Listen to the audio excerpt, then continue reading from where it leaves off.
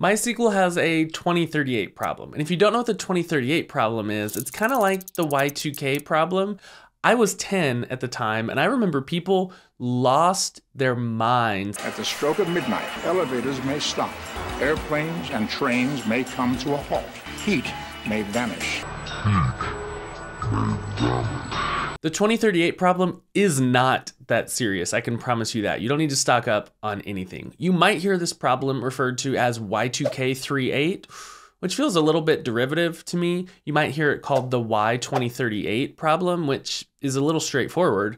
You might hear it called the epocalypse, which earns my highest marks because it is exceedingly clever with the wordplay.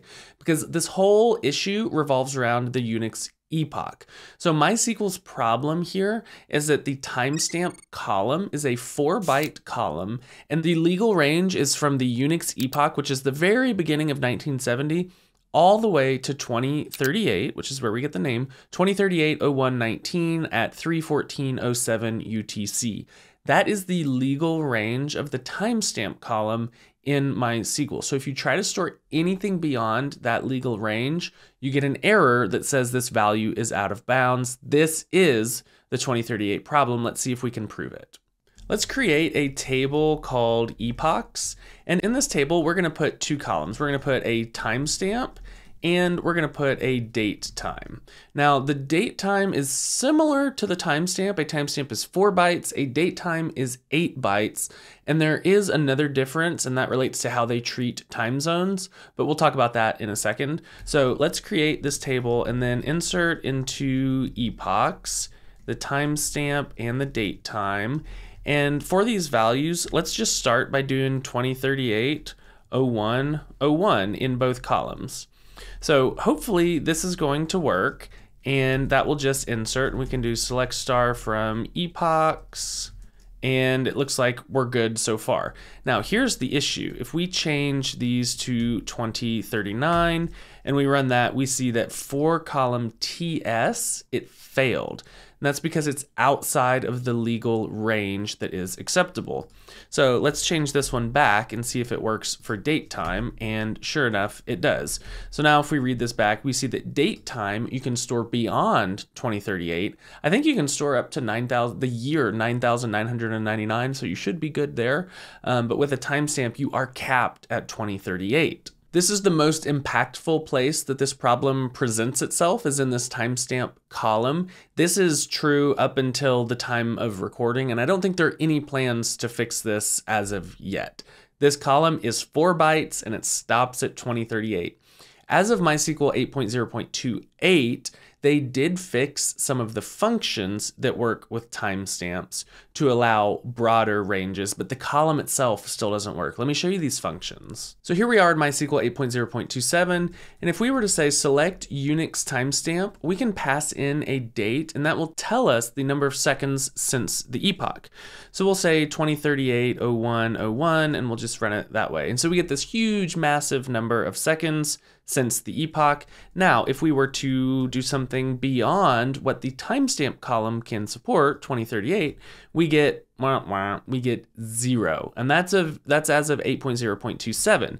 If we were to open another connection that is on 8.0.28 and we were to run that over here, we see that we do get the correct value. So those functions have been updated, but the column type is still bound to 4 bytes, which ends at 2038. Now that we know that this problem exists and we've kind of proven how it manifests itself, the question is what do you do? What do you do about this problem? How do you work around it?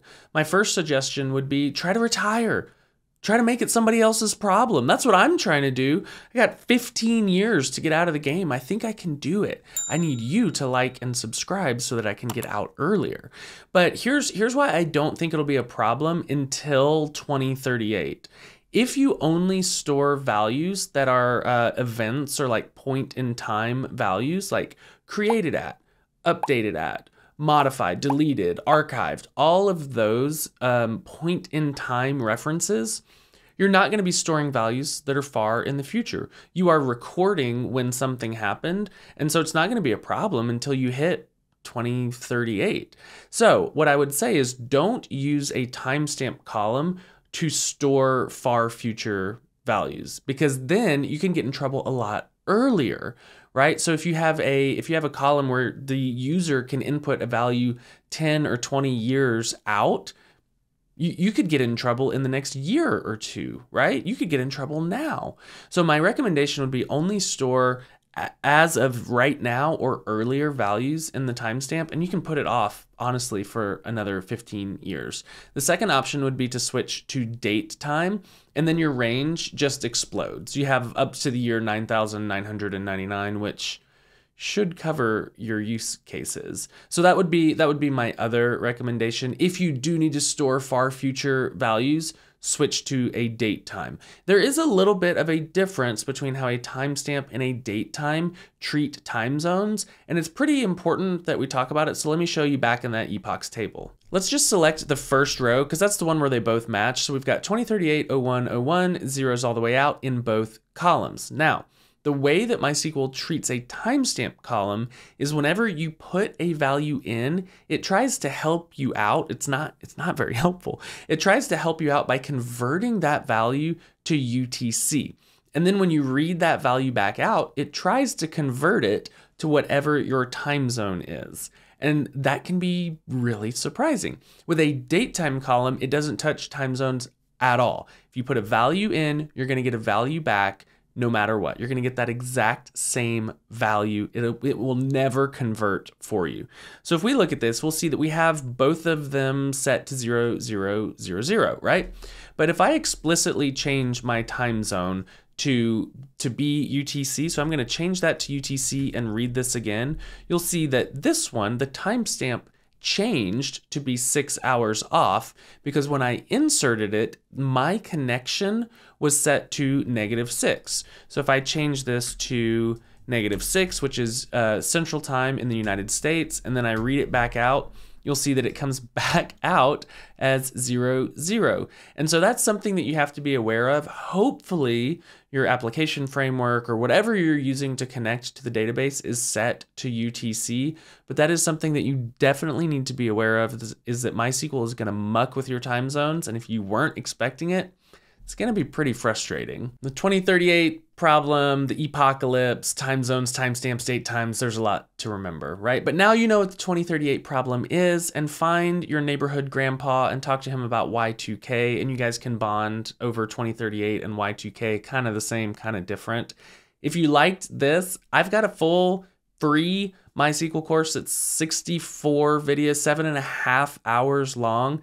And it's just me talking about MySQL the entire time. You can find that at planetscale.com slash MySQL. If you don't want to go over there, stay tuned to this channel. We're going to be putting out videos every couple of days.